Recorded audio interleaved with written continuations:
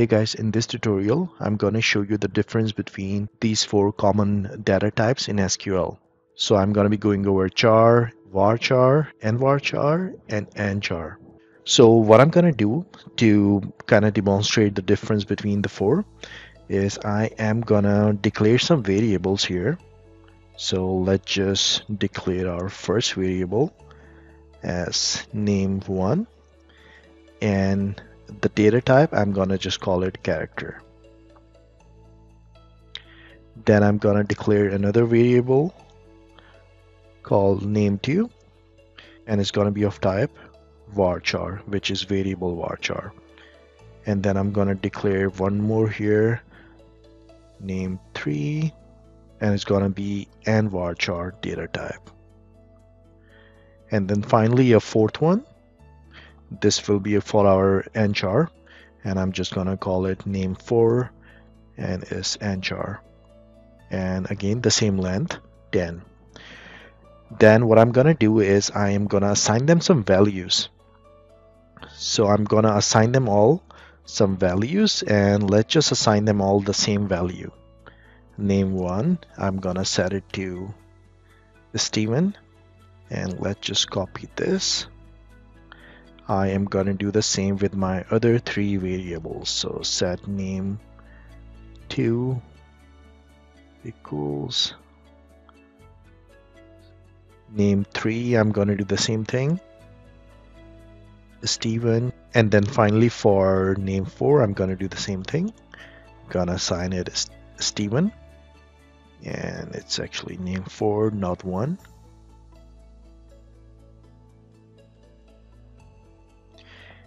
and then finally what I'm going to do is I'm going to see like what's inside each one of those values. So I'm just going to do a select. So add name one so our first name. And then I'm gonna check the character length. So I'm just gonna write length of again our variable one here. And then what I'm gonna do is I'm gonna also check the data length. I'm gonna see what's the actual length in bytes for that variable so I'm gonna do data length and I am gonna do it for again for name one. And then what I'm gonna do is I'm gonna copy this and I am gonna do the same for all four of them. So I'm just gonna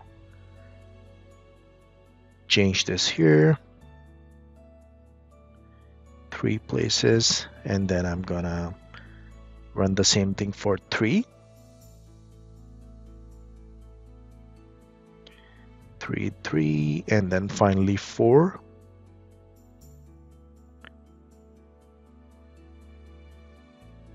So what I have here is I'm just printing the name.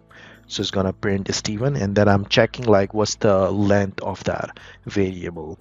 The first one is again character, the second one is varchar, the third one is nvarchar, and the fourth one is nchar.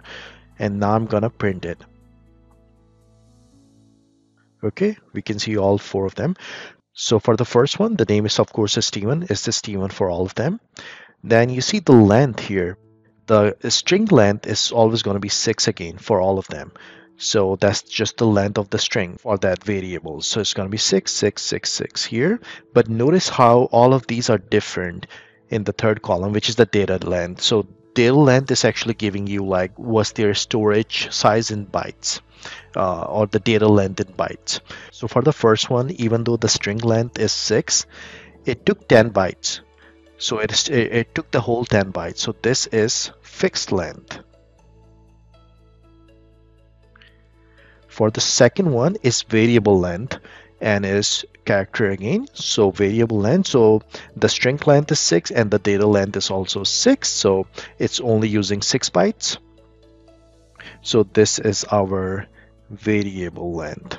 So that's the main difference between these two is even though the string is 6 is going to take up all the spaces when you have uh, fixed uh, data type. So character is fixed data type is going to take all the 10, 10 bytes even though the character was only 6 long.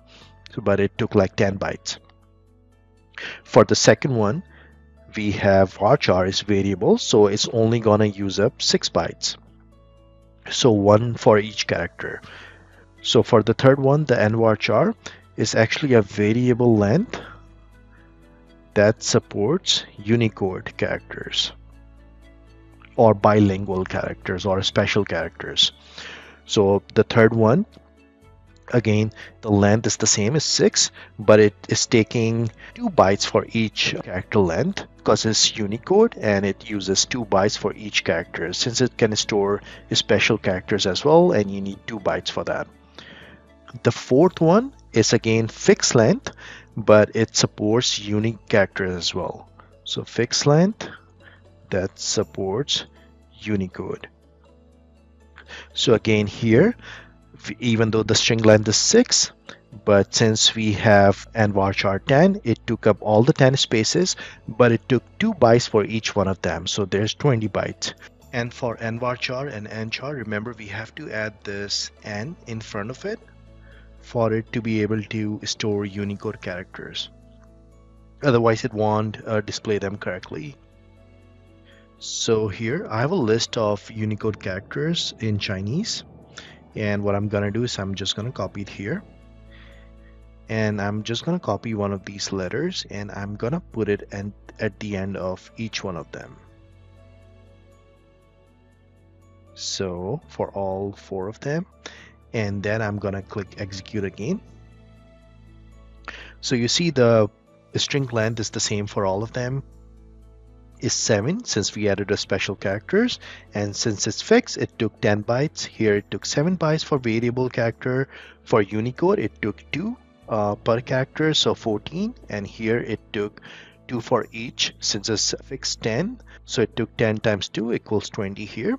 And you see here for the first one it printed a question mark. Since it does not support Unicode characters.